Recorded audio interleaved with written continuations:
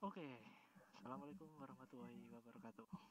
Perkenalkan, saya Eri Indra Kamsar, NIM 414191100079.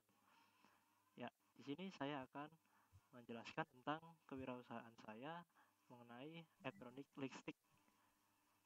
Lightstick, ya, electronic lightstick. Wah. Ya, langsung saya bongkar deck. Di sini terdapat tim kami. Terus berikut overall purpose-nya, sasaran pelanggan, desain dan marketing strategi. Langsung saja. Ya. Berikut saya perkenalkan tim kami terdapat CTO, Chief Technology Officer Ahmad Mudova ya.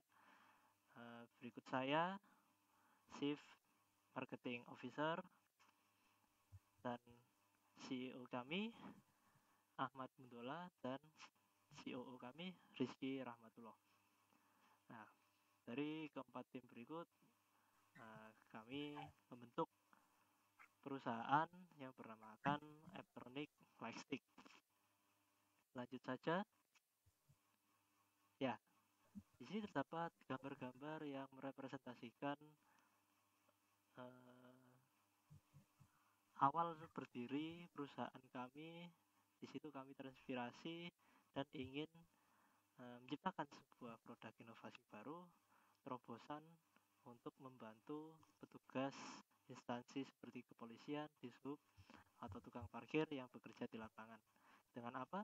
Dengan mengupgrade atribut mereka untuk uh, lebih mempermudah ketika uh, sedang melaksanakan tugasnya di lapangan. Double purpose kami yaitu memudahkan polisi atau juru parkir tersebut untuk mengatur uh, al alur posisi kendaraan di suatu area, baik itu tempat parkir ataupun jalan raya, dengan memanfaatkan simbol atau pesan yang ditampilkan oleh produk. Ya, seperti itu. Selanjutnya kita membahas pada produk. Di sini kami bagi terdapat tiga fase. Uh, pertama yaitu konsep desain, kedua implementasi, dan yang ketiga final produk. Konsep desain memiliki uh, sebuah rangkaian-rangkaian pekerjaan di mana kita mendesain sebuah produk dengan menggunakan 3D Autodesk Inventor. Kami desain dalam berupa sketsa terlebih dahulu, lalu dikonsep menjadi sebuah objek 3D. Setelahnya ke fase yang kedua yaitu implementasi.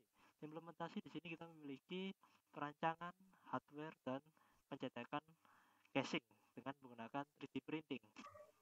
Dengan diatur sedemikian rupa dan diukur dimensi-dimensi tersebut sehingga tercipta, terciptalah uh, lightstick traffic lightstick. Selanjutnya di fase ketiga kita memiliki produk final yaitu yang mana berupa produk traffic lightstick. Produk tersebut memiliki tiga fitur. Terdapat pertama fitur rainbow dengan menampilkan LED uh, berupa pelangi sesuai dengan uh, spek RGB pada LED tersebut karena LED tersebut telah built-in dengan LED RGB di dalamnya. Terus testing LED dengan warna hijau yang dia akan bergeser LED-nya dan custom teks dan simbol.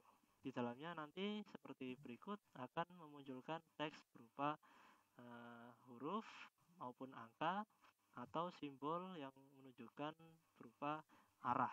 Yang nantinya implementasi ini akan uh, diaplikasikan pada uh, baton light stick yang konvensional dia tidak memiliki fitur tersebut sehingga dia memiliki fitur yang lebih canggih, lebih inovatif dengan menampilkan uh, simbol dan teks. Selanjutnya, customer segment. Pertama-tama kita fokus pada area Jabodetabek. Lalu kita merambah lebih luas ke area lain se-Indonesia. Dengan harapan instansi kepolisian, dinas perhubungan, juru parkir, satpam, dan lain-lain, mereka mampu merasakan semua manfaat dari produk yang kita ingin buat. Ya, selanjutnya marketing strategi. Marketing strategi yang kita ingin rintis, pertama-tama kita merambah dunia sosial media berupa Instagram dan WhatsApp untuk uh, mengontaknya secara langsung. Setelah kita menerima orderan dengan sistem pre-order, kita membuatnya, kita mendesainnya, kita uh, menciptakan produk tersebut, memanufaktur dengan sistem engineering to order, yaitu menerima pesanan, kita indent barangnya, kita kumpulkan, kita kompilasi di situ, siapa yang uh, sampai pada titik tertentu, kita menciptakan, kita memproduksi barang tersebut dalam jumlah tertentu.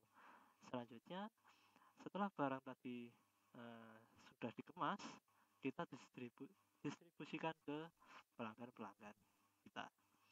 Ya, di antara kesekian itu uh, sampailah pada awal uh, produk dibuat, produk dirakit, eh produk dipesan, produk dirakit, produk diantar seperti berikut. Ya, sekian dan terima kasih uh, dari saya. Jika ada kekurangan kata, mohon maaf. Wassalamualaikum warahmatullahi wabarakatuh.